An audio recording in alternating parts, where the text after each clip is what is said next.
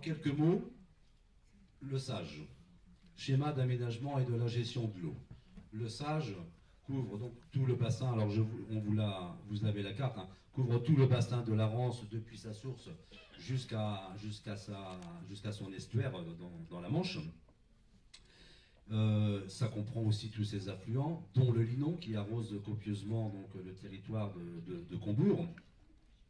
Depuis le renouvellement de nos instances en 2014, les élus au Sage ont la volonté de se rapprocher des populations pour débattre de thèmes autour de l'eau, tout en cherchant à vulgariser le sujet afin que ce ne soit plus une affaire de spécialistes, mais tout simplement aussi parce que ça concerne les citoyens du monde que nous sommes. C'est ainsi que sont nées nos conférences. En 2015 encore, les Nations Unies tiraient la sonnette d'alarme sur la dégradation des sols, qui à terme serait une menace pour nos ressources. Quel lien me direz-vous avec l'eau Pour qu'un sol puisse vivre, être dynamique, il lui faut de l'eau. Car l'eau, en s'infiltrant, va permettre à tous nos auxiliaires, tout ce microcosme que nous ignorons trop souvent, de vivre et ainsi de travailler dans l'intérêt de l'humanité. Comprendre ce qu'est un sol vivant et ce en quoi il est indispensable à l'homme pour sa propre survie. Veiller par ses activités au maintien de la bonne santé des sols, voilà la problématique qui sera abordée ce soir. Rien n'est irrémédiable, il y a des solutions et c'est pour cette raison que vous êtes présents à cette conférence. Pour, débattre du thème de ce soir, sol-eau, un bon duo, nous avons ici un autre duo, bien connu. Souvent, on les appelle les Bourguignons, mais je vais, je vais être plus poli, je vais dire Lydia et Claude Bourguignon, qui, euh, qui sont tous les deux euh, directeurs du laboratoire d'analyse microbiologique des sols qu'ils ont créé en 1990. Après leur intervention, nous écouterons plusieurs témoignages qui serviront à enrichir le débat. Ainsi, je vais commencer par citer Daniel Lanoc, vous le verrez sur scène tout à l'heure. Enfin, tu, peux te lever aussi si tu veux, Daniel. Donc, pédologue à la Chambre régionale d'agriculture de Bretagne. Nous pourrons aussi compter sur Marie-France Piel-Mousquet. Alors, ben, je vais lui demander de se lever. Bonsoir Marie-France. Qui nous parlera de son jardin naturaliste, le Jardin des Saules, à Saint-André-des-Eaux. Jardin qu'elle a créé en 2003.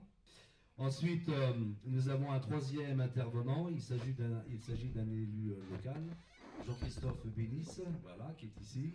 Bonsoir Jean-Christophe. Donc Monsieur Bénis est le maire de Édé-Bazouge, une commune voisine. Il est aussi le vice-président en charge de l'environnement, du développement durable et de l'énergie à la communauté de communes de la Bretagne romantique. Bon sang qu'elle est longue cette phrase? Son propos sera comment aménager autrement nos communes? C'est un vrai sujet d'actualité que certains élus d'aujourd'hui osent prendre à bras le corps. On va pouvoir accueillir Lydia et Claude Bourguignon. Fait 25 ans qu'on tourne un petit peu, euh, pas un petit peu, beaucoup, en France et, euh, maintenant euh, même à l'étranger, depuis 25 ans, pour dire toujours la même chose, c'est que on ne respecte pas le sol et que le sol c'est la base de tout. C'est vraiment le sol nous nourrit, le sol, enfin, par l'intermédiaire du sol, il nous nourrit, il nous habille, il nous loge. Parce que bon, pour faire des, maisons, on a besoin de bois, de pierre, de terre, de paille. Donc dans le monde, on a besoin du sol. Si le sol est en mauvaise santé, l'eau est loin d'être euh, en bonne santé. Donc les eaux sont polluées.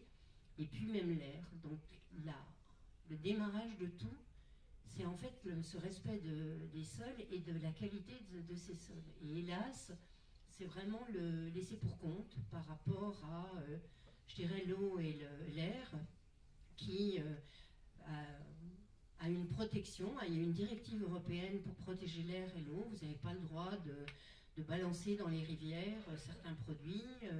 on a demandé aux usines de mettre des filtres pour, pour éviter bah, de, certaines les fumées ou certaines choses pour éviter les pluies acides. Sur euh, le sol, il n'y a aucune directive.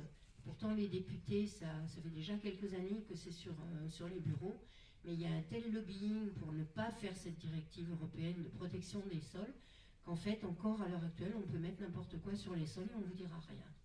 Donc il y a vraiment pour nous, et on en parle du réchauffement de la planète, du problème aussi bah, de, de, plus en plus de désertification des sols. Donc si on ne relève pas les manches et si on ne se met pas vraiment à travailler sur cette qualité des sols et sur la vie dans les sols, eh bien, on peut se faire euh, des cheveux pour euh, les générations futures.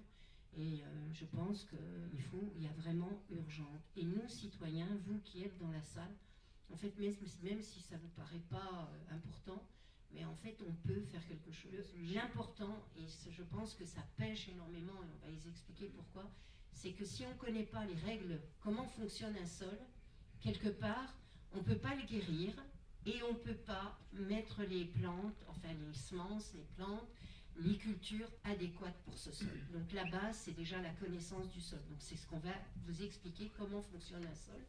Après, on va vous expliquer comment on, les détruit, comment on le détruit. Et ça, dans le monde entier, c'est toujours la même dynamique.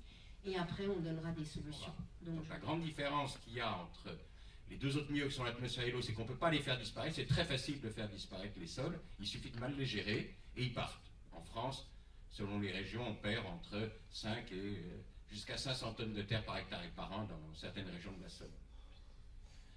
Donc ça c'est très important, c'est un milieu fragile. Tant qu'on n'aura pas compris, tant qu'on continuera avec des gros tracteurs à labourer, à casser la terre, on la détruira. Il faut comprendre que c'est un milieu extrêmement délicat, extrêmement fragile. Faut pas y aller avec la délicatesse de l'éléphant dans un magasin de porcelaine. Ce qui est intéressant dans cette première observation du sol forestier, c'est que ça nous permet de tirer deux conclusions. Premièrement, la matière organique d'un sol doit toujours être en surface pour pouvoir être consommée par la faune épigée. Donc la charrue est un instrument de destruction massive des sols puisqu'elle enfouit la matière organique. La matière organique ne doit jamais être enfouie dans un sol, elle doit rester à la surface. Et deuxièmement, mon système sol-plante dans la nature, il est fermé, il n'y a pas de fuite, il n'y a pas de pollution sous forêt, parce que mes racines sont sous la matière organique. Alors qu'en agriculture, on pollue, pourquoi? Parce qu'on met les racines du blé au-dessus de la matière organique, la matière organique se minéralise, et vous polluez la nappe. Hein, donc deux, deux, respects fondamentaux des, lois du sol. Je n'enfouis jamais de matière organique dans un sol, je laisse en surface et je laisse la faune s'en occuper. Deuxièmement, je veille à ce que mes racines soient profondes euh, pour fermer mon milieu sol-plante. Alors on raconte, les marchands d'engrais vous expliquent que s'il n'y a pas d'engrais, on va tous mourir de faim. C'est un mensonge parce que les plantes se nourrissent très peu dans le sol, se nourrissent essentiellement dans l'atmosphère. Plantes, si vous, voulez comparer les plantes et les animaux, bah, les plantes, c'est des animaux qui ont la tête plantée dans le sol et qui ont l'estomac et les organes reproducteurs à l'extérieur. Elles ne fonctionnent pas du tout comme nous. Et les plantes, elles vont essentiellement se nourrir avec les feuilles. Dans la feuille, elle va être capable, la plante, il y a que les plantes et les bactéries photosynthétiques qui sont capables de faire ça, elle est capable de prendre l'énergie du soleil et de créer des sucres avec euh, l'énergie du soleil et trois atomes seulement, le carbone, l'oxygène, l'hydrogène. Donc la quantité pour les plantes, c'est l'atmosphère qui les donne. Le sol, il va donner la qualité. Donc c'est pour ça qu'une plante hors sol, elle ressemble à une tomate hors sol une fraise hors sol. Il n'y a pas de problème. Elle a la photosynthèse. Ça n'a strictement aucun goût parce qu'elle est évidemment incapable de donner, nous ne sommes pas capables de donner dans une solution nutritive tous les oligo-éléments que le sol, à l'état vivant, est capable de donner aux plantes. La dynamique de, dégradation des sols est toujours la même, c'est on, va perdre la, on va perdre la faune. Claude vous a montré toute la faune qui est dans le sol. Donc la première perte, c'est la, perte de l'activité biologique et de la faune. Comment elle disparaît? Alors ça, ça va choquer beaucoup de, choses, beaucoup de gens. En fait, c'est surtout l'apport des engrais. C'est la première, la première chose, c'est quand les agriculteurs se sont mis à utiliser des engrais, surtout après la Deuxième Guerre mondiale, l'azote, le phosphore et le, potassium, mais surtout l'azote qui a fait qu'on a perdu, on va perdre la faune. Pourquoi? Parce qu'en fait, les engrais, Claude vous a expliqué que en 1950, les sols avaient 4% de matière organique et les engrais, en fait, quand on utilise l'azote, il va minéraliser, il va brûler la matière organique. Donc, comme on avait beaucoup de, matière organique, et cette minéralisation va faire qu'on va augmenter les, rendements. Donc ça, c'est déjà la, première euh, chose pour la perte de de la faune, parce que la faune, elle a besoin de cette matière organique. Dès qu'il n'y a plus de matière organique, ben, elle va disparaître. Après, alors, une autre époque, ce qui est de plus en plus compliqué à faire euh, comprendre, c'est l'irrigation. L'irrigation est responsable de la perte de la matière organique aussi, Parce que quand vous irriguez, ben, on irrigue quand il fait chaud. Souvent, ben, si vous vous promenez en été, vous verrez que souvent les agriculteurs irriguent à midi, donc en pleine chaleur. La terre est chaude et à ce moment-là, eh bien, on va aller vers le, phénomène de minéralisation, c'est-à-dire on va brûler la matière organique. Et puis, ben, l'utilisation des labours profonds. Là, en ce moment, on voit une vraie modification. Les agriculteurs labourent de moins en moins profond souvent enlève la rasette, c'est-à-dire qu'ils gardent le labour couché. Et euh, là, on voit depuis, euh, depuis une dizaine d'années une vraie évolution au niveau des labours profonds. Mais pareil, le labour profond fait qu'on va augmenter la, minéralisation, la perte de la matière organique. Quand il n'y a plus de matière organique, on ne peut plus avoir de faune. Et donc la faune, elle elle aère les sols parce que cette faune que l'on vous a montrée, ça fait ses boulettes fécales, c'est enfin, grumeleux. L'oxygène va rentre et l'eau va pouvoir, il va y avoir une perméabilité. Donc en plus, quand on a un sol qui est compacté, la faune, elle ne peut, pas respirer, elle a besoin d'air et d'eau, elle va mourir. Et quand elle meurt, cette faune, euh, chaque fois je reprends ce que vous a montré Claude, les, vers de terre, mais la faune aussi, dans les turicules, hein, les, amas de terre que, que vous avez vus sur la photo, eh bien, cette faune remonte les éléments à la surface du sol. Et quand on a perdu ça, à ce moment-là, on va, on va tomber dans la dégradation chimique des sols. Et c'est à ce moment-là qu'on a commencé à traiter les agriculteurs de pollueurs. Tant qu'on a perdu la biologie des sols, ça ne se voit pas. Cette, faune qu'on vous a montrée, elle se voit au microscope. Les vers de terre, ben, souvent, sont souterrains. Donc on ne voit pas la perte de la biologie. Par contre, la perte de de, la chimie, comme vos éléments ne remontent plus à la surface du sol, ils vont être lixiviés, c'est-à-dire qu'ils vont descendre le long du profil, le long de la terre, et vont arriver au niveau de la nappe phréatique. Et là, les agriculteurs, on les, les traite de pollueurs. On, entend, et tout à l'heure, monsieur en a parlé, en fait, c'est là la pollution des nappes phréatiques. Le premier marqueur, souvent, ben, on parle des nitrates. Hein, les augmentations, quand je travaillais à l'INRA, on disait qu'un sol, quand il dépassait 30 mg par litre de nitrate, les mères il fallait prévenir les, mairies pour euh, prévenir euh, quand il y avait des enfants ou des personnes âgées. On a monté, parce que pratiquement toutes les eaux commençaient à être supérieures à 30 mg par litre, on a monté le seuil à 50 mg, sans dire que avant c'était embêtant. On a monté à, 100 à 50 mg et on a dit que ah ben, ça commence à être embêtant pour les enfants et pour les personnes âgées quand on atteint 100 mg.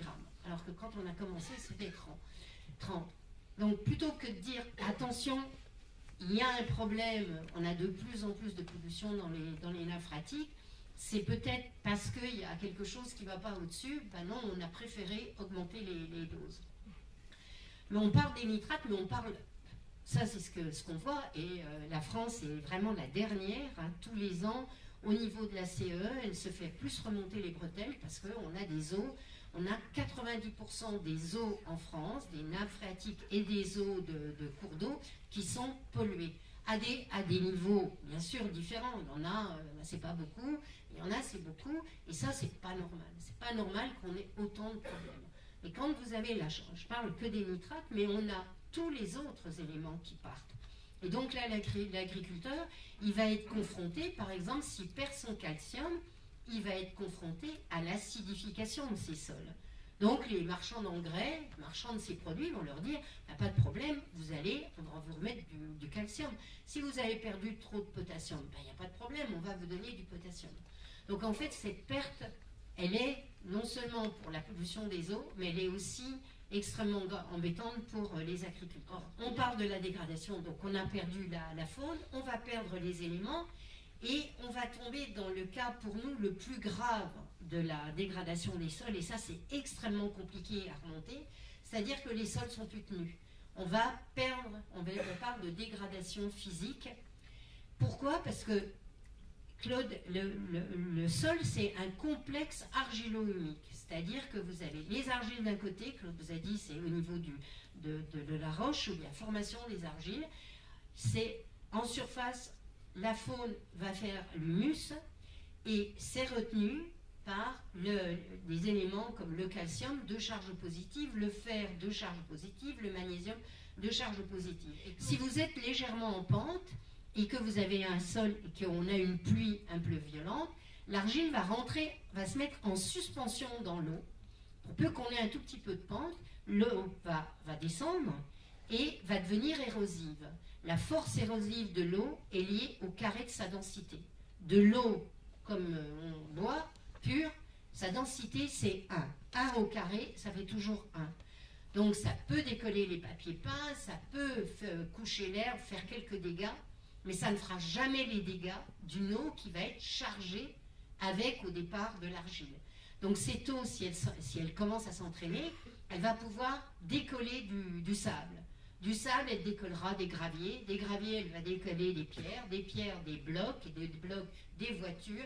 Et on est de plus en plus confronté aux dégâts environnementaux. C'est pas. Alors tout le monde dit Ah, mais c'est à cause de la pluie, parce que l'eau ne rentre plus. Oui, effectivement, elle ne rentre plus pour les raisons que je vous ai données tout à l'heure, mais aussi parce qu'elle est érosive. Et ça, c'est un cas grave, parce que souvent on nous dit, oui, les bourguignons, vous ne pouvez pas dire que le sol est mort. Tant qu'il est encore stable, il est à l'agonie, on va pouvoir le restaurer. Mais quand il est parti dans les rivières, ou qu'il est parti dans, euh, l'air, ou sur les routes, il est mort le sol. Il est parti, il, il a pu revenir sur la terre. Donc là, on a effectivement, on peut parler de mort des sols et d'une perte totale. Juste pour dire, enfin, le, complexe argilo-humique, je vous ai parlé, donc les, humus qui, sont faits par, euh, par la faune, les argiles sont de l'autre côté. Si, c'était que comme ça, deux charges négatives se repoussent. Donc en fait, elles ne sont pas retenues. Si dans le sol, on a effectivement du calcium, du fer et du, euh, ou du, magnésium, on va avoir on va le rattacher. Ça va faire le complexe argilo-humique.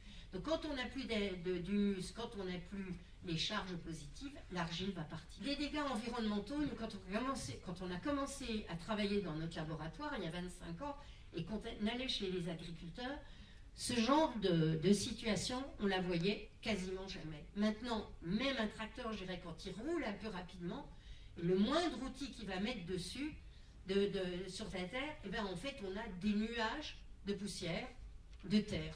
Et souvent, si on analyse ce qui est soulevé, c'est limon et argile. Et donc ça, c'est le capital. Vous ne pouvez pas faire, vous ne cultivez pas sur le sable. Pour la fertilité du sol, c'est son argile et ses limons. Ce n'est pas le sable, ou très peu. Autre, autre la nature nous, enseigne aussi des, choses. C'est que quand, vous, euh, quand elle est couverte, et c'est pour ça qu'il y a des techniques maintenant qui permettent de restaurer les sols, c'est que la nature, pourquoi dès qu'un sol est couvert, elle fait comme nous, elle se couvre. Les sols, dès qu'ils vont être à nu, pour se protéger de la pluie, du soleil, de, du froid, en fait, la nature va faire pousser des mauvaises herbes. Et les agriculteurs sont toujours en train de dire qu'il faut lutter contre les mauvaises herbes. Mais en fait, c'est un moyen de lutte comme vous, quand il fait froid, ben, vous vous habillez, quand il, fait chaud, ben, vous vous couvrez. Et là, on a une photo qui est intéressante, c'est que d'un côté, on a un blé d'hiver, la végétation n'est pas très très importante, mais en fait, elle a retenu son sol. Alors qu'à côté, on a un labour, regardez à l'avant de la photo, ben, toute la terre est partie. Et là, l'agriculteur, il perd son capital. Ça, c'est en Italie. Le niveau de la terre au départ était au niveau de la.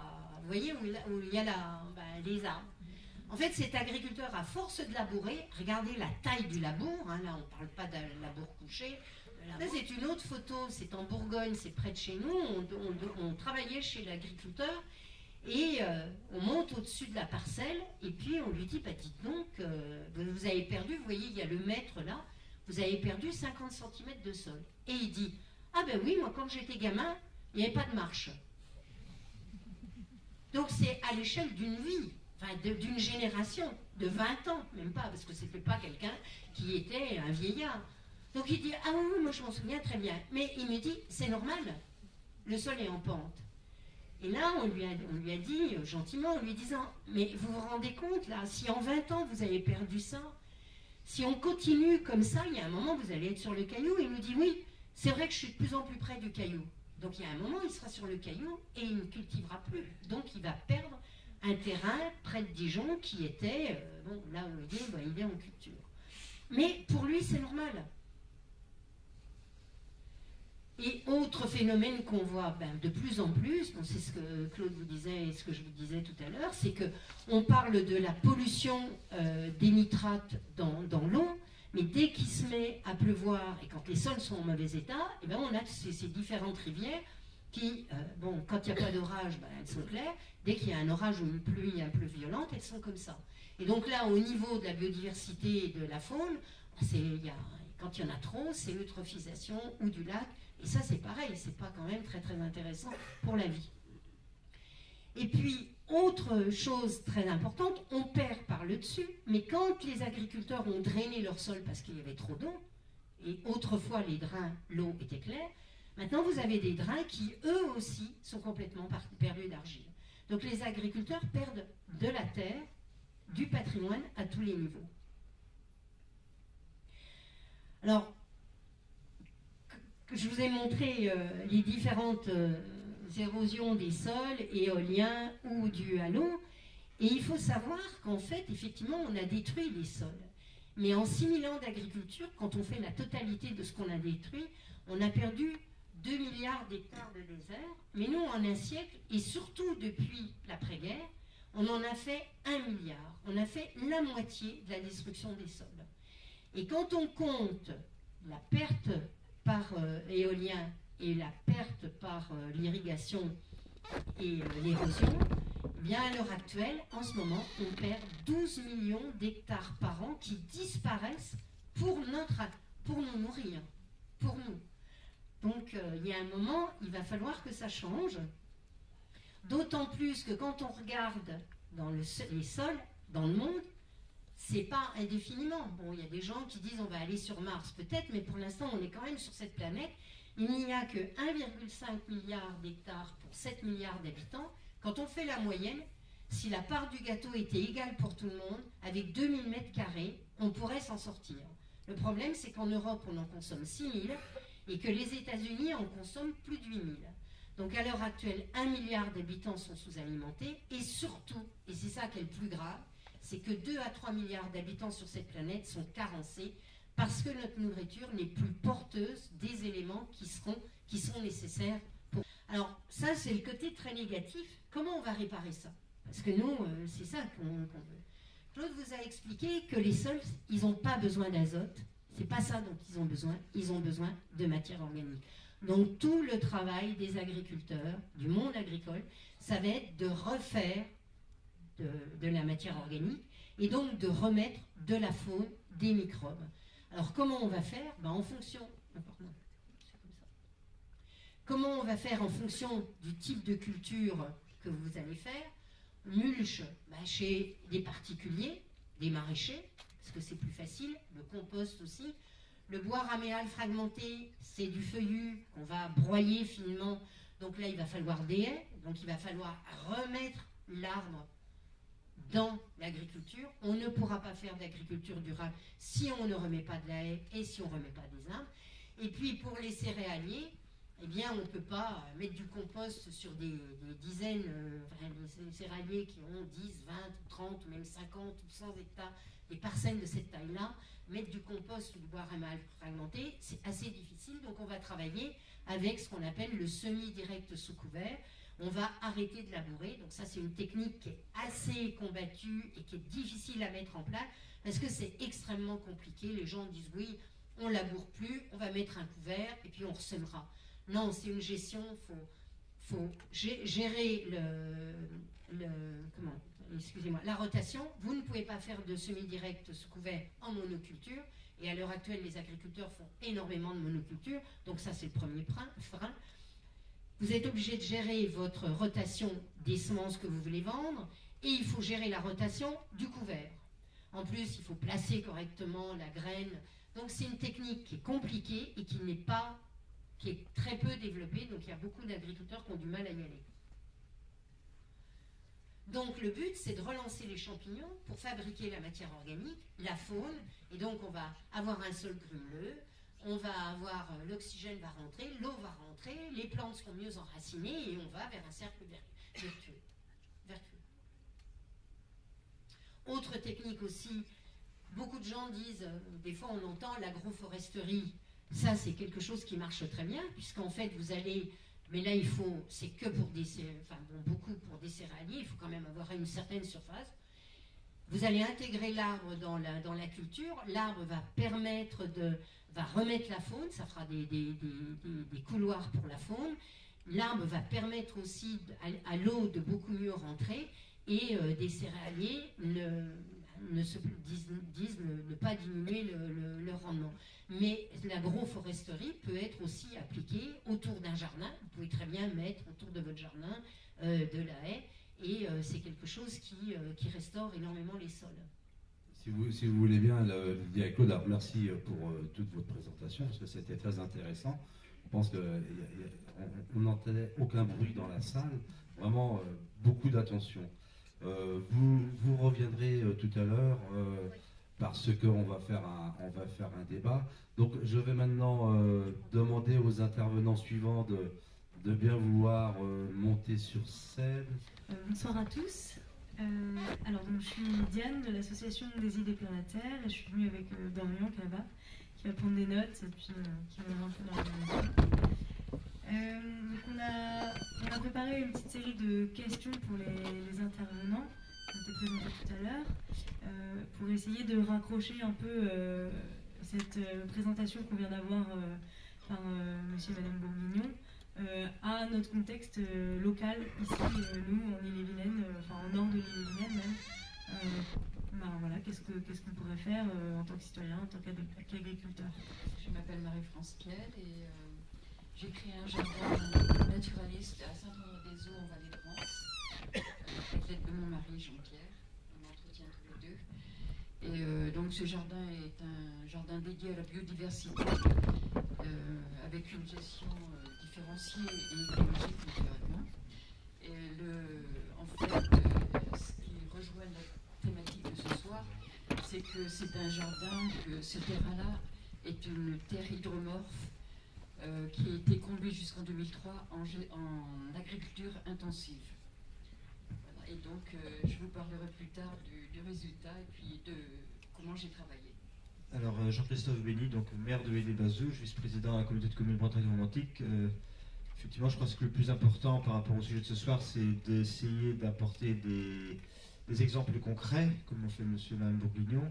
Donc, nous, effectivement, en 2001, on a lancé un lotissement écologique. Et donc, moi, j'ai choisi une photo sur le temps que la, clé va arriver, euh, de lotissement qui fait voir que ce n'est pas un lotissement. Euh, donc la photo va arriver. Donc, un lotissement qu'on a appelé écologique, effectivement, où on a voulu effectivement remettre le paysage un peu en tant que fédérateur dans les futures constructions. Et, ben, donc là, on a, a eu donc, un label, on ne cherchait pas le label, c'était pas du tout le but, le but c'était de faire différemment. Voilà. C'est le lotissement, donc on ne voit pas de maison, donc c'est ça qui nous intéressait c'est que la photo est pas nette, hein, on s'excuse, mais euh, voilà, c'est la voie qui mène au lotissement d'entrée. Donc les plantations, là, ont à peu près 7-8 ans. Donc on pris toute la place et euh, ben, on a l'impression d'être en, en, route, euh, sur une petite route de campagne, même en forêt, puisqu'on a eu un journaliste qui est venu 10 ans après, qui était venu une première fois et qui est revenu 10 ans après. Il, était assez critique au début sur notre démarche, parce qu'effectivement, la, comment, la, le changement fait toujours peur. Donc quand vous commencez à avoir des maisons construites en botte de paille, vous dites effectivement les écologiques sont, les écologistes sont tombés un peu sur la tête. Et puis dix ans après, il avait l'impression de rentrer dans une forêt. Donc euh, voilà. Et puis euh, on avait une deuxième photo après, une deuxième photo sur la clé, qui était plus euh, voilà le cadre aussi avec effectivement l'eau, puisqu'on a une pièce d'eau de 42 hectares à côté, et puis la forêt au fond, je crois effectivement beaucoup à, à la présence voilà, plus une maison pilotée, la présence de l'arbre dans, les milieux, qui est, je pense, primordial, que ce soit pour euh, un tas de raisons, hein, qu'on ait évoqué ce soir, mais aussi de paysage, euh, le bien-être de l'humain, je pense. Bonjour, donc euh, moi c'est Daniel Enoch, je travaille dans l'équipe recherche appliquée des champs d'agriculture de Bretagne. Donc je m'occupe de fertilisation, de biologie, bref, un peu de tout ce qui touche au sol. J'avais Euh, et ce qui touche au sol, vous l'aurez compris avec nos deux intervenants précédents, c'est le pied. Forcément. Voilà, donc pour indiquer qu'effectivement, en agronomie, ben, on s'intéresse au sol, mais on s'intéresse au sol euh, sur euh, l'ensemble de son profil. Et euh, selon qu'on a le sol du milieu qui est bien celui de droite qui fait 1m50 de profondeur, c'est vrai qu'on n'a pas tout à fait les mêmes potentialités, on ne va pas forcément y faire la même culture, on n'aura pas forcément les mêmes problèmes pour mettre tout ça en culture. donc voilà un petit peu le. Je trouvais que ça présentait assez bien la problématique euh, qui, se pose euh, en matière de gestion des sols. Euh, c'est des sols, vous voyez qu'on a quand même une assez grande diversité des sols. En réalité, sur le territoire du Sage, de Frémur et de la Rance, on a à peu, c'est une synthèse à peu près de tous les types de sols qu'on peut trouver en Bretagne, dans le massif armoricain. Mais bon, si on doit s'attacher à voir ce qui, caractérise un petit peu le, secteur, vous avez en haut à, gauche euh, une carte des textures. Donc ça, c'est fait par euh, Sol de Bretagne, hein, avec Agrocampus et puis le, labo de sol de, de. Euh, et vous voyez tout ce qui est en orange sur l'écran, c'est du limon. Donc effectivement, on a des sols qui sont peut-être un peu plus limoneux euh, qu'ailleurs en Bretagne, et notamment euh, du fait d'apport de limon par, euh, le vent. Donc ça, c'est des limons qui, ont été apportés il y a, il y a 10 000 ans, et qui viennent du fond de la Manche quand il n'y avait pas d'eau dedans. Donc ça fait un bail. Et qui ont pu recharger comme ça les sols existants et changer un petit peu la texture. Alors on a des sols qui sont complètement développés sur que du limon, hein, donc sur le matériau éolien lui-même, euh, donc c'était le profil tout à fait à, droite, là, que vous aviez précédemment, c'est les sols les plus profonds. Euh, et puis on a des sols euh, on a des sols bruns, des sols de granit qui proviennent de l'altération de la roche, mais qui ont été rechargés un petit peu et puis modifiés dans, dans leur texture par cet apport de limon. Alors cet apport de limon, il est intéressant parce que c'est le matériau qui retient mieux l'eau, et effectivement c'est le principal critère de potentialité, de productivité dans les sols, c'est leur capacité à retenir l'eau. Hein. On a bien vu que euh, sur Terre, il ne devrait pas y avoir de vie. La vie, c'est dans l'eau. Et s'il y a de la vie sur Terre, c'est parce que le sol recrée un milieu aquatique. C'est sa réserve en eau qui va euh, pouvoir euh, accueillir toute la vie que nous ont montré les intervenants précédents. Et donc le problème de donc ces, limons sont intéressants par rapport à cette qualité qu'ils ont de stocker de l'eau et, de la relâcher facilement la libérer facilement pour les plantes, mais ils ont des inconvénients qui sont d'une part leur euh, sensibilité à, la battance, c'est-à-dire que, euh, au, contraire de l'argile, ils, ne, sont pas tellement euh, aptes à se structurer eux-mêmes, donc ils vont avoir tendance à se prendre en masse. Euh, si euh, on n'a pas l'activité biologique et la teneur en matière organique qui va bien avec. Et puis, ils vont avoir tendance à euh, se lessiver, c'est-à-dire là, c'est pas de la lixiviation au sens de lessivage des nitrates, hein. il s'agit de lessivage des argiles qu'on a évoqué un peu aussi tout à l'heure. Et donc, vous avez la carte en vert sur la droite, plus c'est foncé et moins le sol euh, a une bonne drainabilité. Donc on voit qu'on a sur le secteur un petit peu lié à ces limons euh, une problématique de sol hydromorphe. On a vu qu'on avait beaucoup de zones humides, hein, il y a 9000 hectares de zones humides. Euh, et donc ça c'est aussi lié à la texture, à la nature, à la nature des sols. Et puis j'ai mis en dessous deux cartes qui sont plus cette fois-ci sur les, caractéristiques un peu chimiques.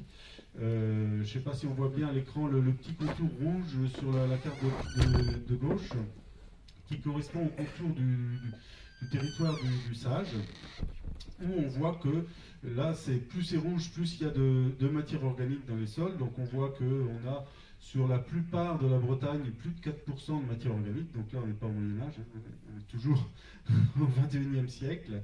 Et euh, par contre, c'est vrai que sur le territoire du Sage, comme sur la zone euh, du nord de la Bretagne, qui sont des zones impactées par les, limons éoliens, euh, on a des sols beaucoup plus jeunes, puisque étant rechargés par ces matériaux-là, et on a des, teneurs en matière organique qui sont plus faibles, et c'est dommage parce que justement ça aurait permis de contrebalancer un petit peu ces, problèmes de structure et de sensibilité des sols. Donc là, il y a effectivement, on voit bien un axe euh, à travailler sérieusement. Mais là, euh, je ne vais pas répéter tout ce qui a été dit avant. Alors maintenant, une question euh, du coup entre, euh, sur l'impact en fait que ces pratiques agricoles-là, euh, notamment la culture de maïs, euh, peuvent avoir sur le sol et sur l'eau, parce que la soirée c'est quand même sol-eau.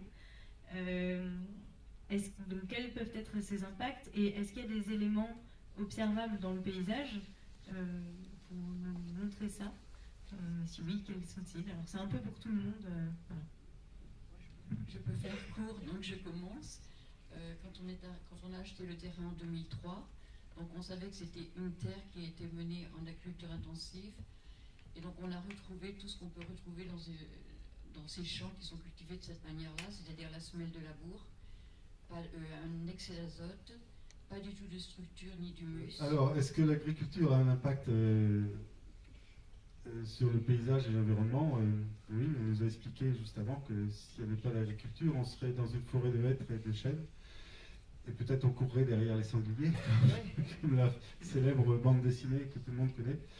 Euh, donc oui, il y a un impact. Alors la question, euh, la question, c'est de savoir jusqu'où cet impact euh, ne, ne- comment dire, ne dégrade pas euh, et ne, ne nuit pas à la durabilité du, du système de production qui est en place euh, et euh, n'est pas euh, jusqu'où est-ce qu'on peut le tolérer au vu d'autres services que euh, peuvent rendre les paysages et, le sol. Donc là, il y a un équilibre à trouver. Donc, Ici, localement, euh, quelles solutions existent, sont mises en place pour euh, soit changer de système, adapter les systèmes au sol en présence ici, soit restaurer des sols euh, qui ont été euh, abîmés, voire euh, détruits.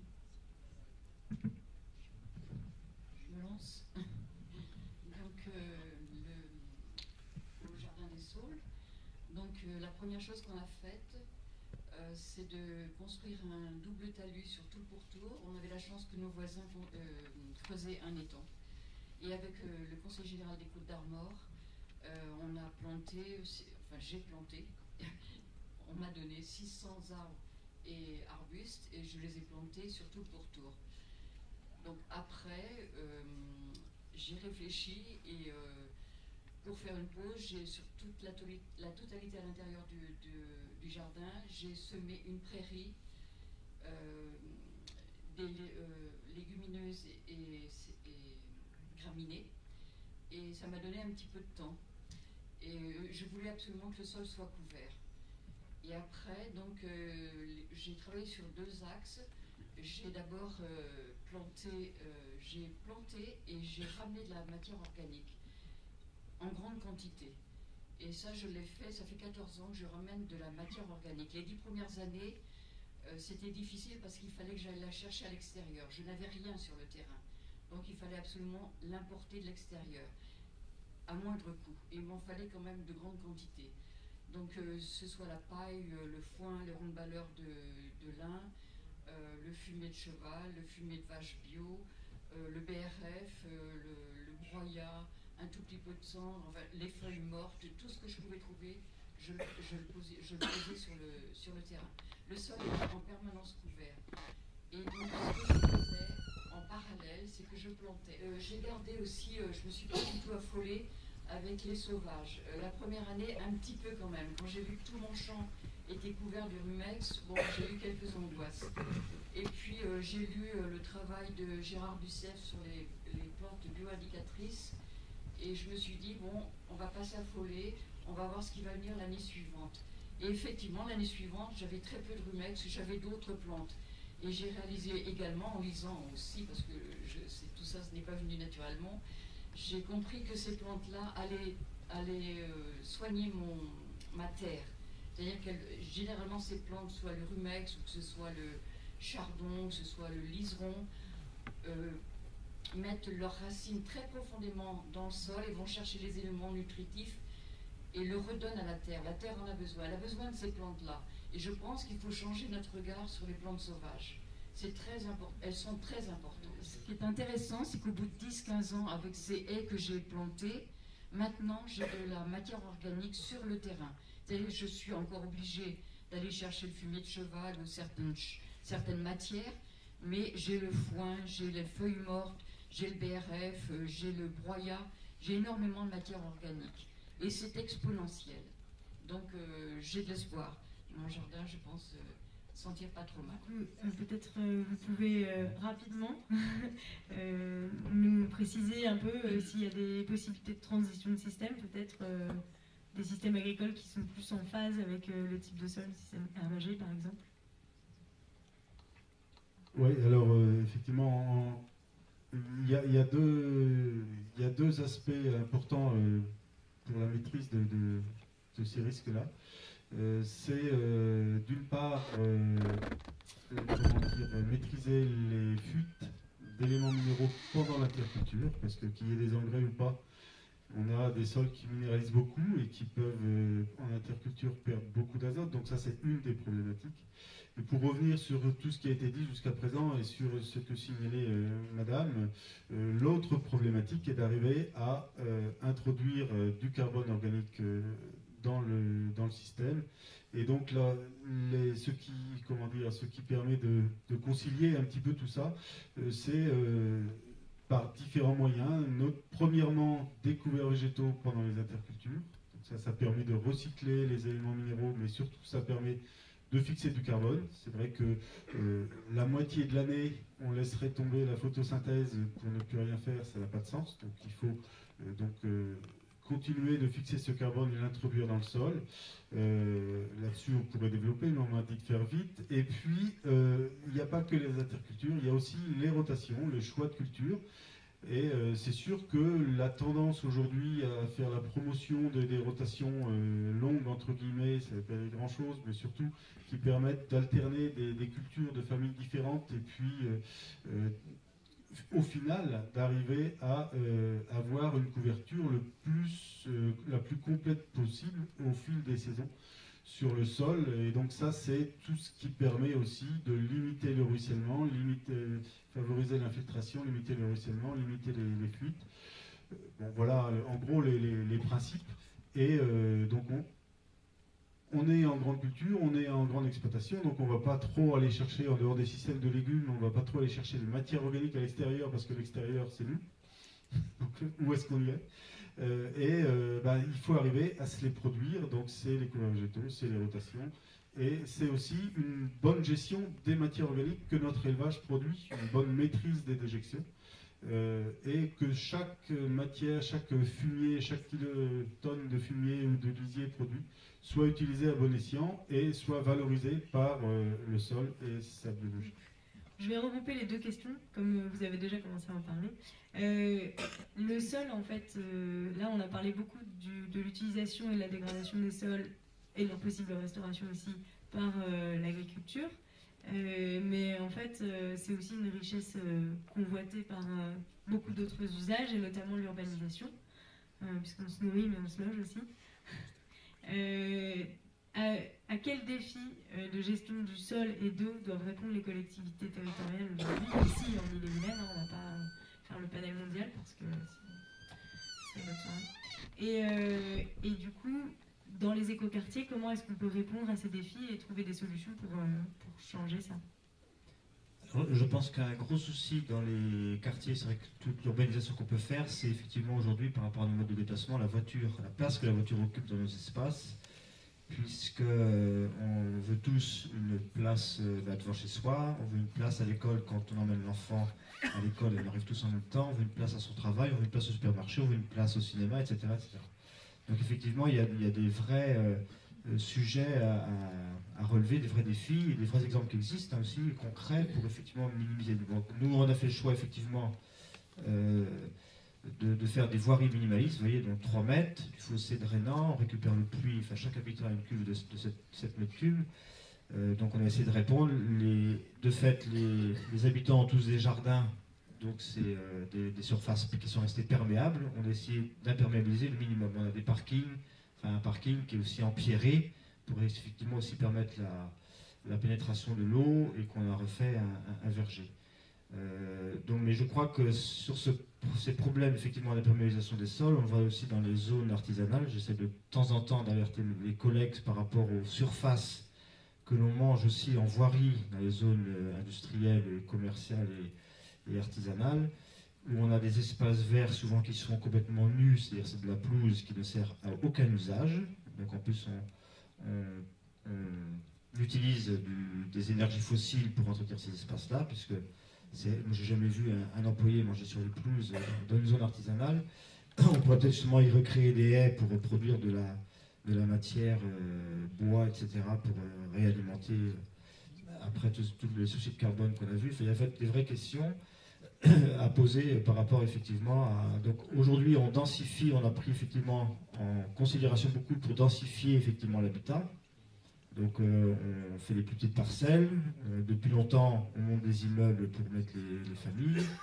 Et pourquoi on ne montrait pas les voitures aussi en, immeubles J'ai vu des quartiers à Fribourg, euh, en Allemagne, où effectivement c'est les voitures qu'on met en, tour, et puis les habitants qu'on laisse plutôt en, rez-de-chaussée. Quoi. Donc c'est pas forcément toujours bien intégré au niveau euh, euh, impact, mais ça fonctionne. Et donc il y a vraiment ce souci de voiture qu'il faut, enfin de déplacement qu'il faut oser peut-être faire des, enfin innover, initier de nouvelles opérations pour voir que, ou aller, en voir, pour voir que c'est possible et, et effectivement éviter de consommer trop de foncier. Quoi. Dire aujourd'hui que les gens veulent une maison individuelle ou une parcelle, c'est faux, je pense, parce qu'effectivement, c'est le seul modèle qu'on leur a vendu, c'est-à-dire c'est les promoteurs qui leur ont vendu ce modèle-là. Donc on a fait des, quartiers qui ont dénaturé totalement nos, bourgs. Nos bourgs, quand vous voyez nos bourgs anciens, ils sont structurés. Les gens disent c'est beau. La, construction bord de, voies qui structure les voiries. Qui, on a des vraies places de village, places des mairies, places des églises. Et les lotissements qu'on a fait pendant 30 ans, c'est une catastrophe urbanistique, parce qu'on a vendu un produit. C'est comme l'alimentaire, c'est exactement pareil. Je crois que demain, nous, c'est qu'un exemple. Euh, les, habitants sont prêts, et beaucoup plus près souvent que les élus. Ils sont pleins d'initiatives et pleins d'idées, parce que nous, si ce lotissement a été réussi, c'est parce que les habitants ont compris, ils ont été beaucoup plus loin que ce que nous on. Donc sur ce lotissement aussi, il n'y avait aucune maison construite en parpaing, c'était interdit vous ne trouverez pas une fenêtre en PVC. Ils ont tous des chauffe-eau solaires, c'était obligatoire. Mais les gens ont trouvé que ce n'était pas des contraintes, mais que c'était un peu du bon sens, comme le bon sens paysan qu'on a perdu. C'était du bon sens, et puis que c'était de la logique, et les gens étaient beaucoup plus loin. Et aujourd'hui, les maisons les plus confortables et les maisons qui consomment le moins, c'est les maisons en bottes de paille, qui ont été construites avec des matériaux produits sur, la commune. C'est l'agriculteur du coin qui a fourni euh, X maisons. Donc voilà, c'est pour dire que c'est possible, quoi. Moi, j'aurais une question pour vous, madame, par rapport à votre jardin. Euh, bon, euh, déjà, euh, vous êtes parti d'un terrain qui était en agriculture intensive, donc c'était des céréaliers ou c'était en prairie? Première question. Et quand vous dites, vous avez utilisé donc vous avez expliqué que vous êtes parti, vous avez mis des arbres, hein, ça a été une des premières, les premières choses que vous avez faites. Ensuite, vous avez utilisé énormément de, matière organique. Euh, par rapport, euh, donc j'ai pas, peut-être que j'ai oublié, le nombre d'années. Est-ce que vous avez vu, en fait, euh, vous avez parlé d'un sol extrêmement hydromorphe, donc rempli d'eau. Est-ce que vous avez vu, au bout de combien de temps, en hiver, vous disiez que vous marchiez avec de l'eau jusqu'aux chevilles, est-ce qu'en fait, vous avez vu un réessuyage de votre sol? Est-ce que vos arbres ont énormément pompé euh, de, ça, et que les zones où il n'y a pas d'armes, est-ce que vous avez pu mettre autre chose que, que des arbres Est-ce que vous faites du maraîchage? Est-ce que vous avez des fleurs? Donc ça, je vais vous poser ça. Et puis, pour vous, monsieur, par rapport, parce que ça, c'est quand même très, très intéressant euh, dans, ce que vous avez fait, puisqu'on a un, élu qui euh, serait intéressé, mais le village n'est pas très chaud pour amener en fait une zone un peu un lotissement euh, euh, complètement écologique puisque là apparemment vous utilisez euh, comment comment enfin je ne sais pas si c'est vous comment en fait vous avez pu amener un tel sujet qui est quand même pas facile maison en paille récupération d'eau est-ce que les gens étaient tout de suite d'accord, où il a fallu euh, les convaincre. Euh, après, bon, convaincus, ben, on avance beaucoup plus. Mais en fait, comment ce projet, au départ, est né euh, dans votre, l'endroit où vous êtes? Merci. Donc une question sur la permaculture et les techniques de lasagne, etc. Peut-être on peut répondre aussi. Et sur le jardin, vous avez retenu les deux questions, c'est vrai. Et sur l'écoquartier je ne vais pas parler de la permaculture parce que je sais que la permaculture, c'est respecter la terre, respecter l'homme et partager. Donc, quelque part, je suis en permaculture. Mais bon, non, je suis, c'est plus large. Je, ne suis pas affiliée à une école particulièrement. Pour répondre à Madame Bourguignon, donc, euh, euh, donc j'ai planté de tout petits sujets. C'était vraiment euh, une année racinée, voilà. Parce que le sol n'était évidemment pas prêt à accepter des plantes. Et euh, il a fallu attendre à peu près une dizaine d'années pour. Il fallait que donc euh, la plante euh, s'implante. Il fallait que les racines trouvent leur, leur chemin et puissent que l'arbre se fortifie. Quoi. Mais il a fallu une dizaine d'années. Et en dehors des plantations, j'ai planté 3000 arbres et arbustes. Et les autres qui ne sont pas plantés, elles, ce sont des prairies. Et euh, chaque année, je gagne un petit peu parce que je suis plutôt partie vers la forêt jardinée. Donc euh, chaque année, euh, la strate, les arbres sont plantés, les arbustes sont plantés. Maintenant, j'implante les, les grimpants, la vigne, le kiwi, etc. Et, ça, il faut donc une terre un peu de meilleure qualité. Il faut que l'humus soit là. Et je commence à avoir de l'humus dans de plus grandes zones. Donc euh, chaque année, je gagne, je gagne. Et j'espère qu'un jour, j'y arriverai. Mais bon, ça devient assez intéressant en ce moment. Mais en hiver, vous, vous avez moins d'eau J'ai encore, oui, j'ai moins d'eau. Ça, c'est sûr, j'ai moins d'eau. Il faut dire que les dernières années ont été euh, assez sèches. Alors, euh, c'est difficile de. Mais je pense que j'ai moins d'eau, oui. Alors pour répondre à votre deuxième question, euh, juste aussi pour euh, aller dans le même sens que ce que vous expliquez, moi j'ai un petit jardin, je ne suis pas un exemple, mais j'ai retenu une parole un jour de Denis Pépin, qui est un, maraîcher bio euh, connu, je pense pas beaucoup. Un bon jardinier, c'est un feignant. Si on peut faire moins, on essaie de faire moins, mais si on veut, nous, pas travailler la terre, il faut, comme vous l'avez montré là, il faut que ce soit les, toutes les petites bêtes qui sont le sol qui travaillent, et pour qu'ils travaillent, ils sont comme nous, il faut, faut leur donner à manger. Et là, pour la, première fois, j'ai fait effectivement quelques rangs de patates. J'avais encore un endroit, une pelouse à, passer en jardin. J'avais pas du tout envie de bêcher, parce que il faisait trop chaud l'été. Alors j'ai mis de la paille, ce qu'on fait en, ce qu'on dit en permaculture, et j'ai mis des plants de patates sur la pelouse et de la paille dessus. Ben, elles étaient aussi belles que les autres que j'ai butées, que j'ai plantées en terre, que j'ai butées, que, enfin bref, que je vais passer trois fois plus de temps.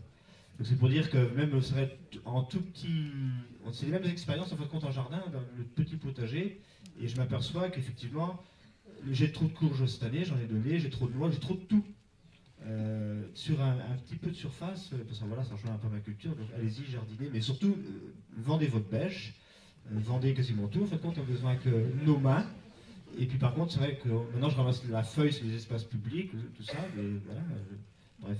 Alors pour le projet, effectivement, mais c'est comme vous, je pense, dans votre démarche, euh, le projet, il a vu le jour parce qu'il y avait, parce que je pense parce que c'était notre premier mandat, c'est-à-dire qu'on n'avait aucun frein réglementaire parce qu'on était des, des gens qui avaient envie de faire différemment quelque chose qu'on était incapable de savoir ce qu'on voulait faire. On savait ce qu'on voulait pas, on voulait pas un lotissement classique, mais on savait pas ce qu'on voulait, on savait pas sur quoi on pouvait aller parce qu'on n'est pas des spécialistes. Donc on s'est entouré d'équipes et de gens aussi emballés que nous. Donc c'est parti de quelques initiés, je dirais, convaincus euh, qu'on pouvait faire autrement. On ne savait pas quoi, c'est souvent comme ça que ça démarre. Et puis quand vous avez un peu, quand vous êtes euh, majoritaire après au niveau de l'équipe municipale, même si votre majorité ne croit pas forcément, n'a pas des convictions aussi fortes sur un projet, ben, ils votent quand même pour vous, enfin de votre projet, parce qu'ils ne peuvent pas, faut quand même... euh, c'est comme dans les grands partis politiques, on garde une majorité. Et puis une fois que vous voyez qu'il y a un nombre de mains suffisant qui est élevé sur le conseil municipal, vous dites c'est bon, ils ont voté, on y va maintenant, on bosse, on fait le lotissement écologique. Quoi. Mais voilà, Où sont venus les gens comment, comment les gens parce que, les habitants oui, comment, euh, les- Ben non, mais c'est ce que je dis. Comment, comment les, les personnes ont voulu acheter ce genre de. de... Ben, parce que- mais euh, Mais non, ce qu'on dit, c'est qu'on croit, nous, c'est comme vous, euh, dans. euh, les gens, ils aspirent à autre chose. Enfin, il y a beaucoup qui aspirent à autre chose qu'on plaît l'idée. Sauf que nous, on croit, les élus, que le modèle qu'on nous développe, ce- ces zones artisanales, c'est pareil, que c'est ce modèle-là. On l'a eu sous les yeux depuis 30 ans. Les, les- lotissements classiques, quoi, qu'on a tous déroulés, parce qu'effectivement, c'est comme en agriculture intensive. On, a, des gens qui sont très rodés dans leur démarche, qui sont des très bons commerciaux, et puis vous, vous êtes là, habitant, vous voulez faire une maison, ben, vous avez toujours vu les maisons dans tous les quartiers qui sont pareils. vous avez un commercial qui vous dit voilà, sur votre maison, elle vous coûtera tant, et c'est vrai qu'il ne se trompe pas, il, prend tout en main, vous ne savez pas faire, vous faites confiance, et c'est parti comme ça. Or, il y a aussi plein de gens qui aspirent à autre chose. Nous, notre lotissement, il s'est vendu, on a fait une deuxième tranche là, ça s'est vendu, mais en rien de temps. Parce que les gens aspirent aussi à autre chose. Ils ont besoin de. Ce qui fait notre, grand plaisir aujourd'hui, d'abord, c'est que les gens s'y plaisent énormément. C'est quand même important, il faut quand même qu'ils s'y plaisent beaucoup. Et puis que c'est un quartier qui est pas reproductible ailleurs, parce que c'est une addition d'initiatives privées, avec un, un cadre qu'on a donné, mais un cadre qui était quand même assez souple. Il fallait rentrer dans une démarche. Aujourd'hui, on nous assomme de réglementation. Et aujourd'hui, par exemple, aujourd'hui, il paraît qu'il y a des maisons qu'on veut faire RT 2012 ou 2015, on ne peut même plus mettre un poêle à bois, ça ne rentre pas dans les critères des c'est de l'aberrance euh, de, technique. On est trop dans la technique, il faut retrouver du bon sens, le bon sens paysan, à tous les niveaux. Et, puis, et puis derrière, on dit aux citoyens, mais ils sont grands les citoyens, et puis ben, qu'Internet, ils connaissent tout, que nous. Nous, on nous, nous élus, on n'a jamais été à l'école, enfin on n'a pas été à l'école d'élus, il n'y a pas d'école d'élus. On est comme eux, et demain on sera de nouveau... Euh, on est avant tout citoyen avant d'être élu. Et donc qu'on donne la possibilité aux gens d'exprimer aussi leur envie, euh, leur richesse culturelle, etc. Donc il faut, être quelques-uns.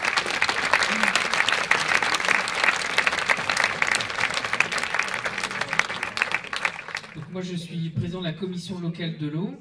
Euh, qui regroupe euh, à peu près 60 personnes, euh, une trentaine d'élus, une partie aussi de membres de l'administration, et puis surtout des usagers de l'eau sur le territoire du, bassin de la Rance, du Frémur et de la baie de Bossé, des agriculteurs, des associations environnementales, d'autres usagers. Et la commission locale de l'eau, c'est un lieu de débat pour essayer de trouver les solutions par rapport aux problématiques de l'eau qu'on rencontre sur le territoire. Et cette deuxième conférence, elle visait aussi à créer du débat sur un, sujet qui, à mon avis, est presque le plus important que celui qui nous attend. Euh, c'est celui donc de l'enjeu des, sols. Et euh, je suis très satisfait du débat qu'il y a eu ce soir. Vous voyez, hein, on a besoin d'échanger, on a besoin de, aussi d'apports euh, extérieurs, de façon à ce que cette problématique, tout le monde en prenne bien conscience on a vraiment besoin de prendre conscience de euh, l'enjeu que constituent les sols et de la nécessité de les, préserver. Donc je remercie euh, nos lanceurs d'alerte. Euh, voilà, même si ça fait 25 ans que l'alerte a été lancée, je pense qu'il faut qu'on continue à prendre conscience qu'effectivement il y a un enjeu fort en termes de préservation des sols. Euh, on a identifié quand même beaucoup de, problématiques hein, liées, au sol, mais on a aussi identifié la façon dont on pouvait euh, gérer ces problématiques et trouver des solutions. Et c'est toujours ça qu'il faut se dire. Il y a bien sûr des constats, des fois qui sont un peu compliqués, un peu difficiles à entendre, mais il y a toujours des solutions aussi pour euh, essayer donc d'évoluer et donc de sentir la façon dont ces problématiques vont pouvoir être résolues. Et euh, sur le bassin de la Rance euh, du Frémur de la baie de Bossé, on sait qu'on a des enjeux autour de l'érosion. C'est pour ça que le schéma d'aménagement et de gestion des eaux euh, invite les collectivités à réfléchir à, la replantation du bocage, à gérer aussi donc avec les agriculteurs la façon dont on peut conserver la terre dans les champs euh, regarder aussi comment par des pratiques euh, on peut avoir une, terre qui soit plus fertile et donc euh, qui permette aussi de, remplir sa, mission, donc de faire pousser les, plantes et de nourrir les, animaux et les hommes. Et puis enfin, on a aussi donc un, enjeu sur le, sur le territoire qui est celui de préserver les sols mais préserver les sols de leur artificialisation. Et c'est pour ça qu'on avait demandé à Jean-Christophe euh, Ménis, le maire de, des Bazouges, d'être là. C'est qu'il y a aussi un enjeu en termes d'urbanisme, de façon à ce que là, on préserve les sols aussi des autres usages euh, que ce, qu'on peut connaître au niveau agricole ou environnemental.